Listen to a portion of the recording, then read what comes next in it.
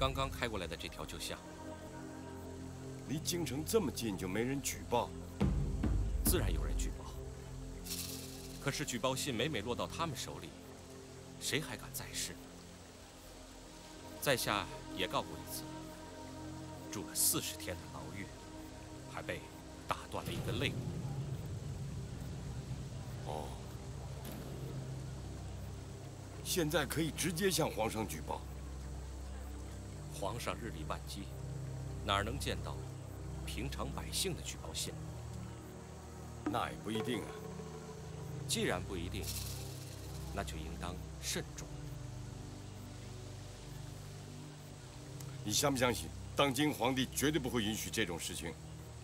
当然，天下是他的。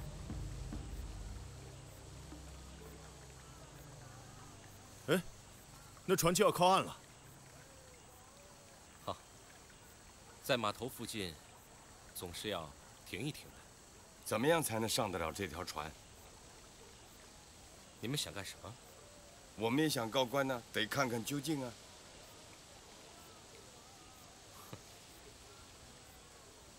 怕不是告我吧？此话怎讲啊？你们想告官，却想诓谁呢？告辞了，告辞了。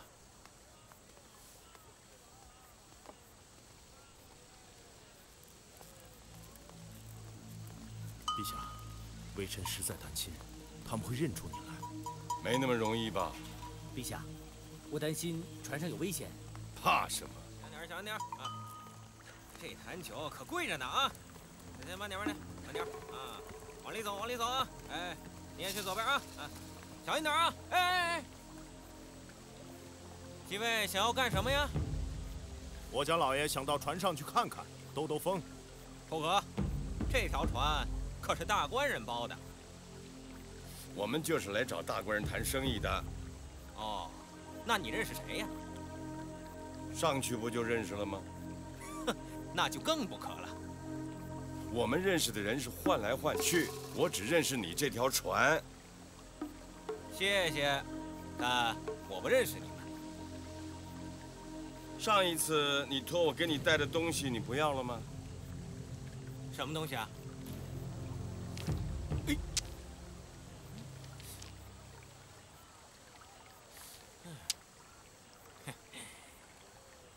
几位，真是商家，不小的商家。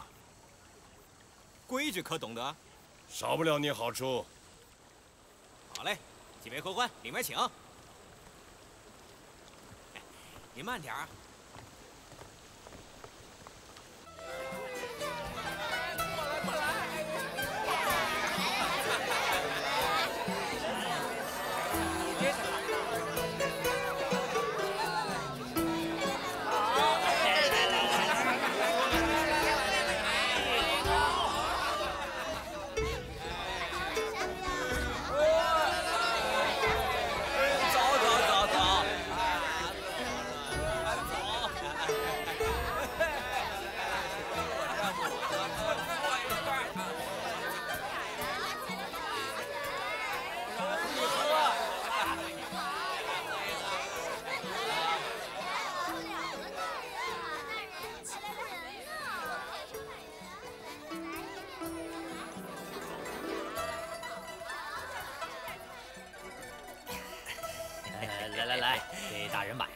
儿。才来呀！昨天晚上没有住船上。这里太脏。这人是谁呀？怎么这么面熟啊？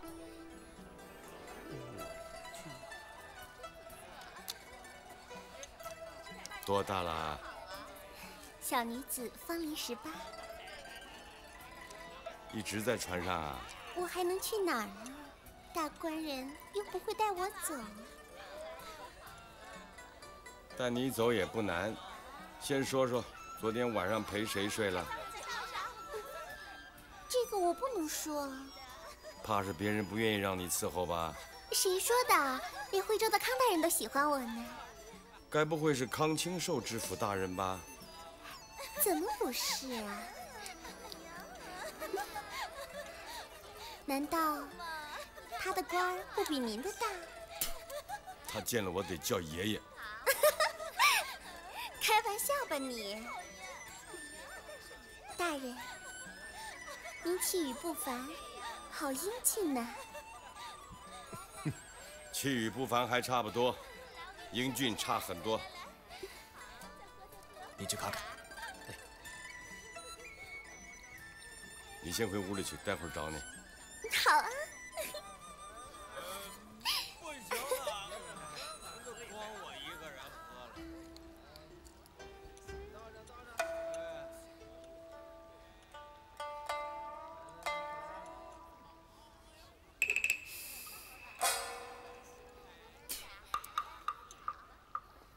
熟。您是哪位？别问了，说出来能吓你一跳。跟谁来的？能问问吧？老康，老康。不认识啊？哦，啊，多有得罪。在下荆州通判李元生。啊，听过。啊，真的？听说他是一个清廉出了名的官。哈，呃，没人看过他穿新衣服。呃，也不是，只是有些场合。明白。看场合嘛。哎，不过还是很想知道大人您是。不必多问。呃，大人从京城来。嗯。呃，正四品以上。可以这么说吧。哎呀，今天能够遇到大人，卑职真是十分荣幸啊！你会记住我的。哎，是是是，大人到过荆州吗？经过而已。好，下次到荆州，如果大人不嫌弃，卑职一定极尽地主之谊呀。哎呀，我们荆州虽然比不上京都，可是像这样的花船还是有的。在下可以为大人专门租上一艘，住上十天半个月，啊，全凭大人兴致，而且还更为安全。最近皇上把韩铎给斩了，你不知道啊？啊，听说过。那还做这种事，不会担风险吗？啊，嗨，拉了苦叫归叫，可庄稼还是要种的。听说皇上派了不少监察御史下到各地去，专做暗访，这点不可不防哦。嘿，怕的就是这个。这条船上不会有什么监察御史吧？哼，如果有的话，他能活着下船吗？啊，到那边去看看。卑职明白，卑职一时还不会走。哎，在马上啊！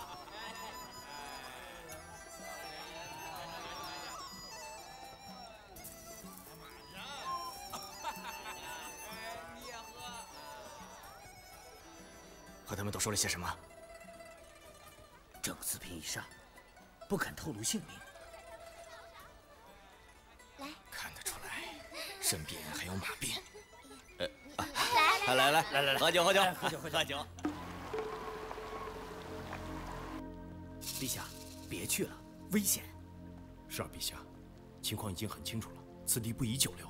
清楚什么了？这难得出来一次。别躲呀！怪我！来，大人吃一口。让我亲亲。放肆！不。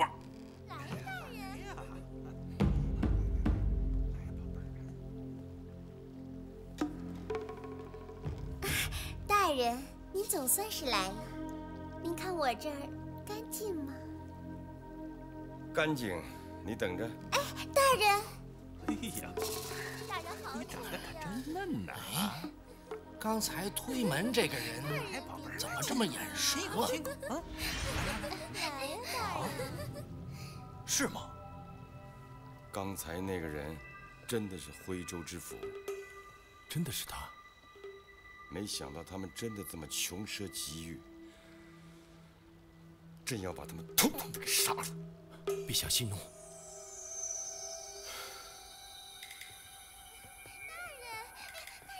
来亲一口。无礼！哎呦，哎，大官人，小人打扰，小人打扰，你还不赶快给我出去！呃，是是这样，大官人啊，小人是做丝绸买卖的，算是有点本钱的。那么就是希望认识大官人您这样的人，帮我们在地方上，在京城里边做点买卖。本官又不是做生意的。那是，但是我们也是人生地不熟，官面上缺少朋友。好啦，你要是早来片刻，我就把你扔到外面河里去。那是那是，可是小人实在没有打扰大人的意思。你们怎么找到这儿来的？荆州知府林大人介绍。哦，但是我们要找的人他下船了呢。丝绸，苏州丝绸，货色怎么样？货色上乘。我们做的都是大买卖。啊，想投机取巧。呃，您放心，小人是懂得规矩的，啊，但是不知道大人您在这个地方上是不是多有联络啊？我的地面就是通州啊，啊，口天吴，你们没有一点耳闻吗？哎呦，如雷贯耳啊！知府大人，在下有礼了，你快快快，请大官人笑纳。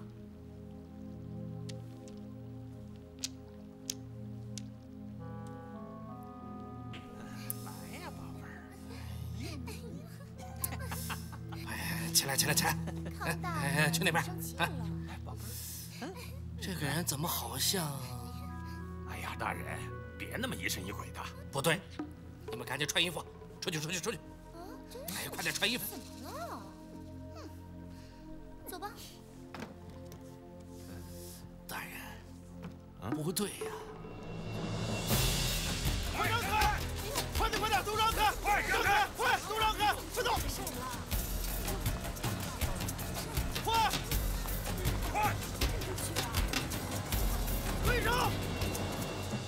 听清楚了啊！嗯嗯。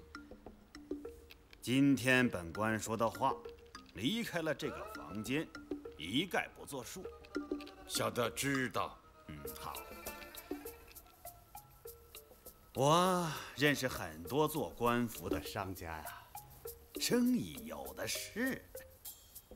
哎呀，那太好了！大官人，您一个手巴掌抵得上小人一块天。您看我今天本来就是壮着胆子出来试试，没想到小人撞到鸿运了。哎，你别高兴太早。本官做这种事，懒于讨价还价。大官人您放心，折扣好说，公家的买卖折扣更好说。好，嗯，我跟您说个数字，您听听。讲。一百抽七。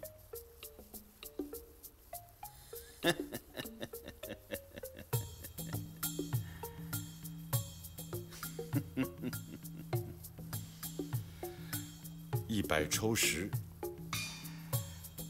没有十抽二，免谈。十抽二啊！嗯，啊，你这个人怎么整不明白？咱们做的是公家的生意，我把价格抬高点儿，不就全有了吗？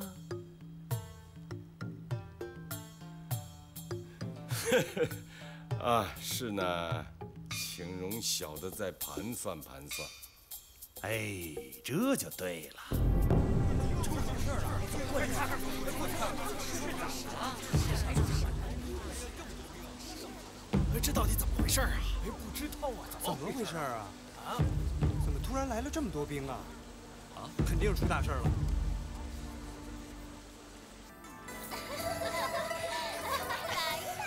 林大人，林大人呢？你们都下去，下去。走吧，走吧，我们走吧。出什么事了？刚才有两个人到我的船舱去，我看其中一位很像，啊啊，啊，做商人打扮？对呀，穿褐色长袍啊！哎呀，刚才就坐在这儿。哎呀，我说这个人怎么这么眼熟啊？太像了，太像了！哎呀，这这这这，刚才你们都说了些什么？都向大人禀告了，四品以上。什么四品？哎呀，哎呀，果真是他，我们都有完了。说什么什么？出事了，出事了！皇上来了，怎么回事？皇上在哪儿啊？就是最后上船的那个。皇上，你看见了吗？没有啊。你看见了吗？没有啊。那他还在船上吗？那肯定在啊，这船又没靠岸。各位大人，这是怎么了？我问你，刚才上来那几个人干什么的？大商人，做买卖的。你让他们上船的？我。他们说他们来过，你混蛋！你怎么了？赶紧去给我找！啊是，千万不能惊动他们！啊是是是，快去呀！哎呦，哎，吴大人，哎，怎么不跳了？接着跳啊！哎呦，吴大人，你看，吴大人，哎哎，你们走，你们快走，走走走！皇上可能在这船上。皇上怎么能在这？这谁说的？他化妆成客商，还穿着褐色长袍。哎呀，还有一个穿灰色长袍的。是啊，他他他他他，他是一个做买卖的呀。哎呀，到底是不是啊？别弄错了。林大人，您赶紧出个主意呀！还是康大人出主意吧，康大人做得通嘛。哎，这这这这这怎么是我一个人做东啊？这是。哎呀，好了好了，现在先不要说这些了，赶紧想想办法。想什么办法？本官倒有个办法，你说，还是不说了吧？哎呀，你就说吧。万一要是皇上到了，咱们可都是重罪，谁也跑不了啊。刚才咱们大家在一起都是猜测，到底是不是还不确定。万一要是个骗子呢？你是说把他们，行不行？哎，等等，这件事大家可要想好了。弄不好抓错的话是要掉脑袋的，大家要灭门九族啊！十抽二，打发要饭的呢。那么你什么意思？十抽三，否则滚蛋。十抽三，那我们连进货都进不来了。那是你们的事儿。与我何干？我这儿从来就这个价。嗯嗯。再说本官又不是商人，从来不讨价还价。嗯。哎。嗯。你看来还真是个狗官呐。哎，你敢辱骂本官？我还打你呢！大人，你你敢打我？我打你，我还想杀了你呢！来人呐！陛下，他们好像正在集合人。集合人，想干什么？好像要动手啊！胆儿大！你、你们、你们到底是什么人？看到陛下还不跪下？陛下，跪下！陛下，哎呀，你先让我想想。哎呀，康大人，没有时间了，这关系到身家性命啊，我得想想啊，只能豁出去了。大人，大人，几位大人，刚才那几个人就在陈大人的房里。好，好，动手吧。康清寿。是你在说话吗？朕在问你。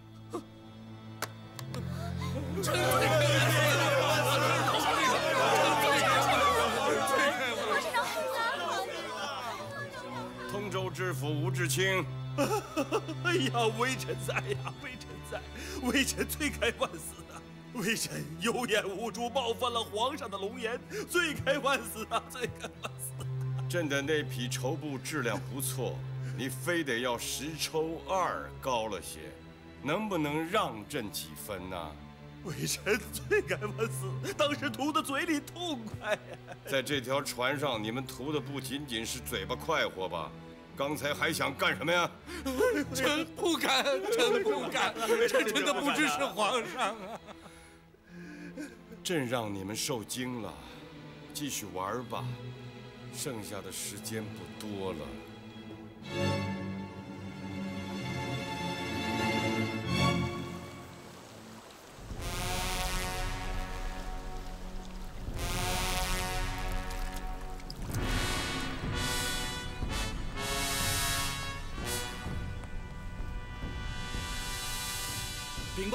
西城兵马指挥司指挥白云峰奉命前来候旨。把船上的人都抓起来，凡是官员验明身份，不论大小，不分请客被请，一律送交大理寺严加审问。遵命。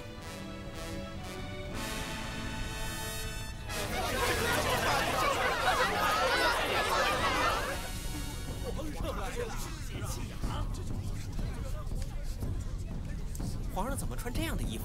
哎，这叫为父晚上谈呐，都要倒霉了。活该他们也有今天。嗯，这些狗官呐，终于被皇上抓住了。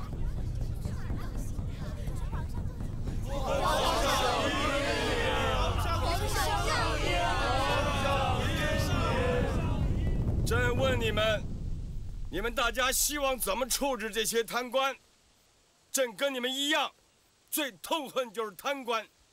贪官是你们的死对头，也是朕的死对头，所以你们放心，只要朕在，绝不会让这些贪官过上一天好日子，一定给大家一个满意的结果。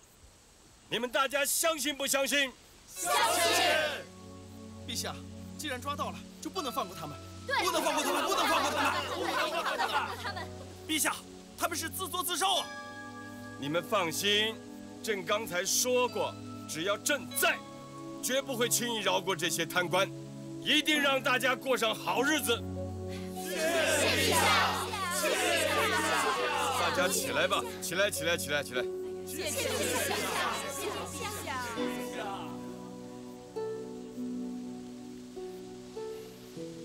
韩先生，怎么样？朕没骗你吧？小民叩见陛下。陛下，请陛下重责小民方才无礼。说什么重责？要重用。为了告赃官而做过大狱的才子，一律重用。你不是要到京里面找事吗？朕就给你找个差事，让你也做监察御史，正七品。微臣不才，承蒙陛下器重。虽肝脑涂地，难报陛下拔擢之恩。平身。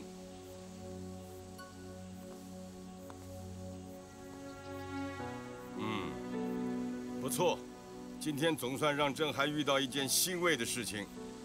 那么今后你就要跟郑世元一样，要马不停蹄地巡查全国，继续再查出一些这一类的大案，以镇贪墨之风。遵旨。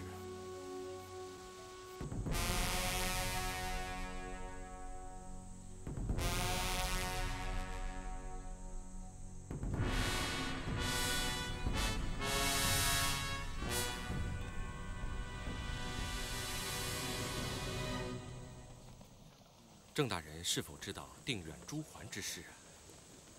这件事你也听说了吗？是啊。以郑大人看，这件事情应当如何处理呢？这件事我已经想了很久了，今日上朝，就要向陛下禀报。我想此事一经提出，必将会引起轩然大波。无论会发生什么事情，还望韩大人不要参与其中。郑大人。韩大人，千万要记住我跟你说的话。凡公侯之家，以事权豪，欺压良善，虚钱实器，侵夺他人田地、房屋、资处者，初犯免罪负过，再犯停之俸给一年。三犯停其禄。四犯与庶民同罪。凡公侯之家、管庄人等，不得以事在乡欺殴人民。好了，今天就念到这里吧。遵命。这是第三遍了，刻在这个铁榜上的条文，朕希望诸位爱卿都能牢记在心。另外，朕还想补充一点，不仅贪钱贪物者是贪官，贪声贪色、贪权贪势、贪阿谀、贪虚名、贪享乐者，同样都是贪官。廉能之官，倘若有所过错，朕能有免；贪虐之徒，哪怕最小，也要严惩。郑士元，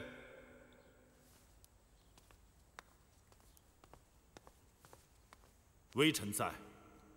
有关类似花船的腐败事件，你认为在全国还有多少？回禀陛下，卑职以为，树欲静而风不止，贪墨腐败之风，自元初至元末愈演愈烈。我朝新建不久，官员中因袭旧习者大有人在。即使陛下三令五申，仍会有人心存侥幸，以身试法。因此，对待整治腐败一事，应是长久之计啊。郑爱卿所言极是。花船一案若非民间早有风闻，朝廷也是无法得知。所以朕决定恢复风闻言事制度。你以为怎么样？陛下，微臣完全拥护。施行此法，将会揪出一大批贪官，使他们难逃法网。郑世元，你在民间还听说过什么风闻了吗？听到过。说说看。陛下，微臣想另找一个时间禀报。但说无妨。陛下，现在就讲。在百姓中有一种传言，说定远知县朱桓在当地敲诈勒索，在民间怨言甚多啊。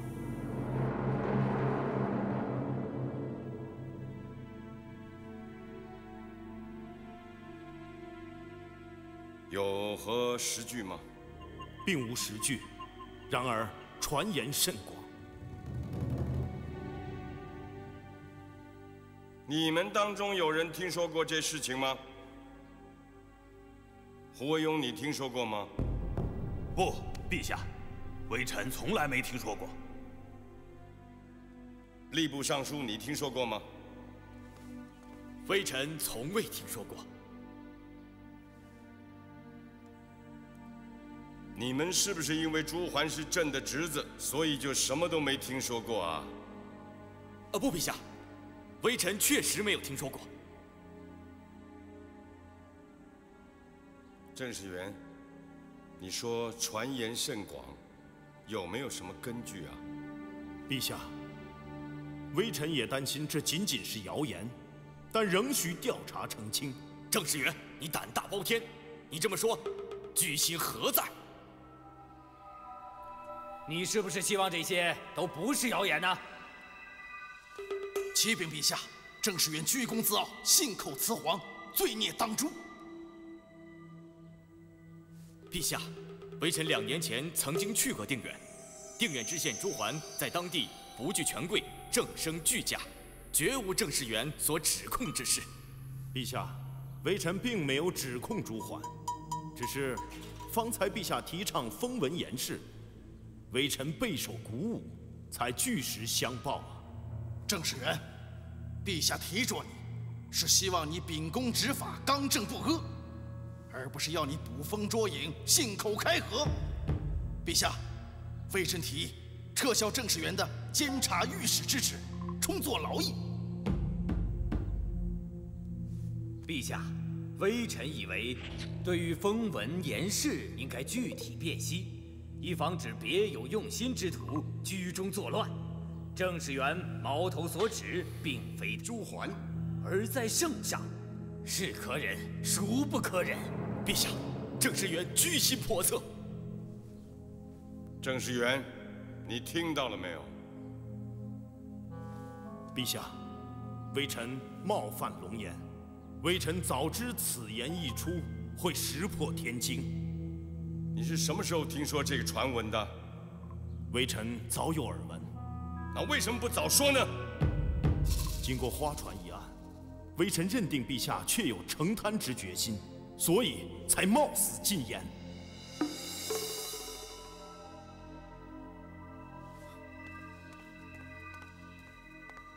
陛下，微臣也曾听说过有关朱桓之传言。你听说过什么？微臣曾不止一次的在百姓中听说，定远知县朱桓借皇亲国戚之威望，在民间为非作歹，横征暴敛。陛下，朱桓虽然有过过错，他必然接受教训，谨言慎行。他们二人所言不足为凭。不，既然民间早有风闻，那就不可等闲视之。皇亲国戚影响重大，更不可掉以轻心。郑士元，微臣在。你本是要到潞州去，那么顺便经过定远的时候，先把事情调查清楚再说。遵旨。韩一可，微臣在。你跟他一起去。遵旨。如果事情真像你们所说的那样，那朕绝对不会宽恕朱桓。不论是皇亲国戚、公侯，只要贪赃枉法，那就得严惩不贷，否则这个惩戒公侯榜摆在这儿，形同虚设。你们说呢？圣主英明。退朝。今天你真不该附和我呀？为什么呢？难道你想掉脑袋吗？难道郑大人就不怕掉脑袋吗？有我一个人出面就行了，何必再搭进去一个呢？既然充当监察官员，怎能不秉公直言？或许郑大人今天不该当着众多的朝臣提这件事，使陛下。感到无法接受，或者为难呢？哼，我本想另找个场合，但是你也知道，我也不是随随便便就能够见到陛下的。更何况现在陛下已经下了反贪的决心，皇侄的事情他是绕不过去的。这个卑职同意，不过也太冒险了。总要有人来提这件事吧。底下议论纷纷，朝上无人发言。只蒙了陛下一个人，非忠臣所为啊！父皇，儿臣为定远之事担忧。担忧什么？担忧桓哥。朕只希望他别出什么事情。父皇，是否收回皇命，不必派郑士元前往定远？胡说！皇命岂可出尔反尔？这岂不是让郑士元等笑话？又如何让朝臣们信服？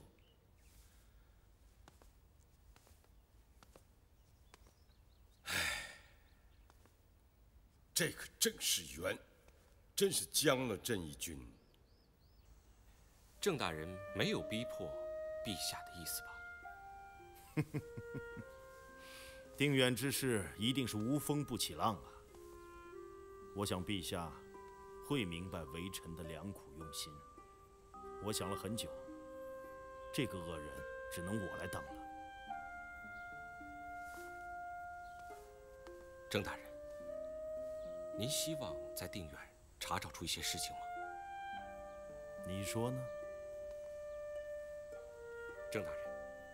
如果有人往定远通风报信，说咱们要过去，情况会如何呢？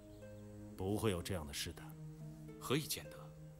是清官，自然不会有人这么做；是贪官，他们巴不得我们在定远找出点东西来，因为他们就想看看陛下会怎么做。他们认为，陛下不会惩治朱桓。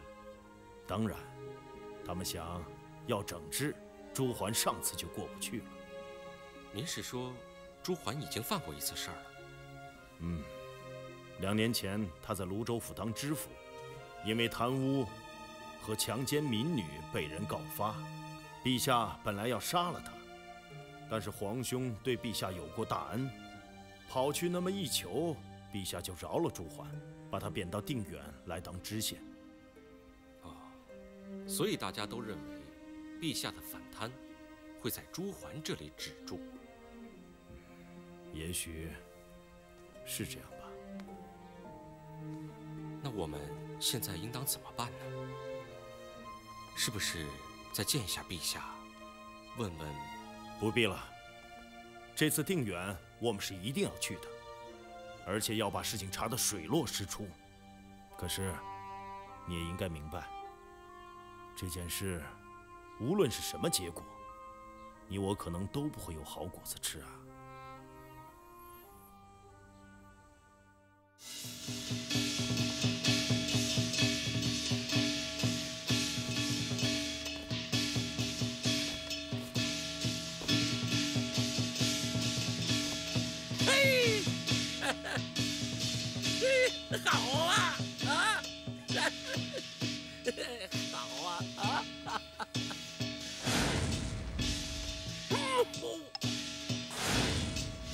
我说重八呀，哎，这当皇帝可真好啊啊！这今天呐，是老哥这辈子我最高兴的一天。哎呀，高兴就好。啊，伯父，父皇平时从不看戏的啊，今天是特意为您祝寿的。哦，崇八呀！呃呃呃呃不不，皇上。嗯，叫重八可以。哎，天底下朕也就允许老哥你一个人这么叫了。啊，这这，那我可就叫了。叫吧，听着亲切。哎呀，好，重八呀，嘿，真没想到你能做皇帝。嗯，这是老哥这辈子我最高兴的事情。哎哎，不瞒你说呀，哎，有一天晚上啊，好好的，忽然我梦见这皇帝不是你，是另外一个人。哎呦，吓得我一激灵，一下子就醒了。哎呦，吓得我一身的冷汗呐。伯父，啊？啊？你还别说，朕有的时候也做过这种梦。哦。醒来之后还想呢，啊，我真的当了皇帝了，我不用再出去讨饭了。陈友谅的几十万大军都没了，啊、大元朝真的被朕推翻了。哎、特别是见到老哥，朕更是别有一番感慨啊。伯父，父皇现在不曾有一日敢忘却以前的日子。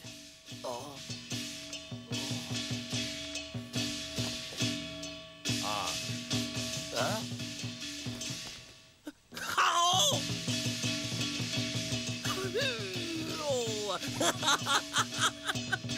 好，好，好！哎呀！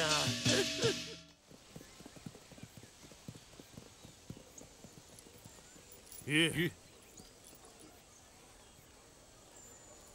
我们进城以后，先找个地方住下来，慢慢的打听。记住了，这件事情绝不可操之过急。嗯，走，这。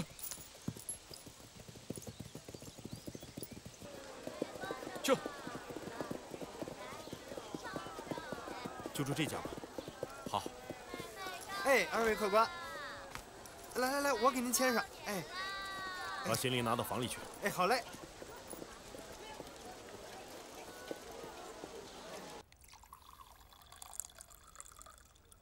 二位客官，没出去走走？好，刚回来。小二啊。听说这儿的知县可不是一般人啊！是啊，你们刚来就知道了。这儿的知县是黄直。啊，小二，拿着，辛苦了啊！谢谢客官，谢谢客官。啊，都是朋友，我们人生地不熟的，还想请教一二呢。不敢当，不敢当，客官您太客气了。凡小的知道的，既然黄直在此。想在此地开一个小门脸儿，你看我们的生意会好做些吗？呃，二位客官，既然你们都把我当朋友，那小的就不该隐瞒你们。在这定远做生意啊，倒不如去别处。哦，这是为何呀？你们没去别处走走？走过呀。没觉得这定远物价比别处高？是吗？啊。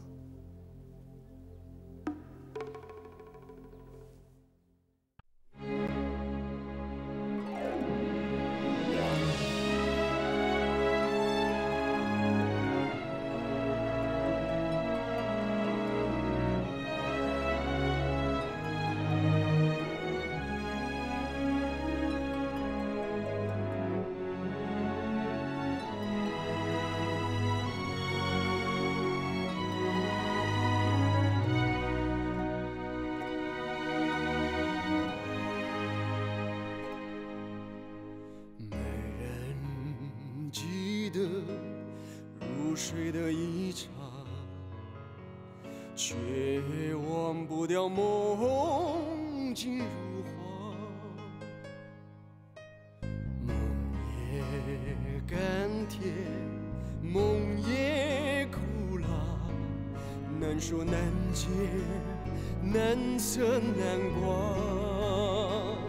白羊人生千种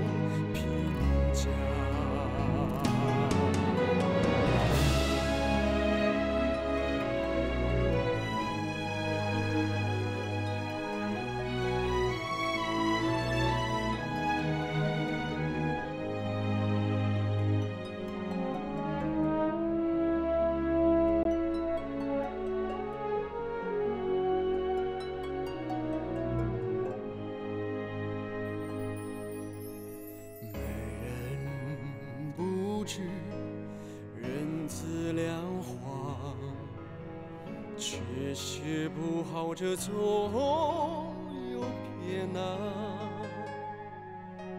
春绿结秋黄，朝阳面落下，十字路口八面来风。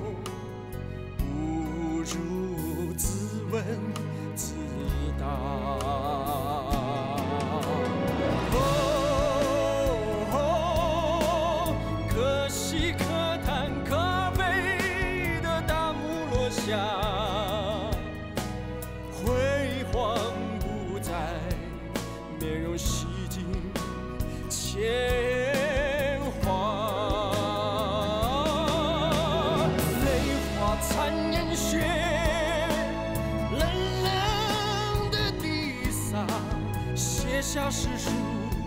谢的话，感谢。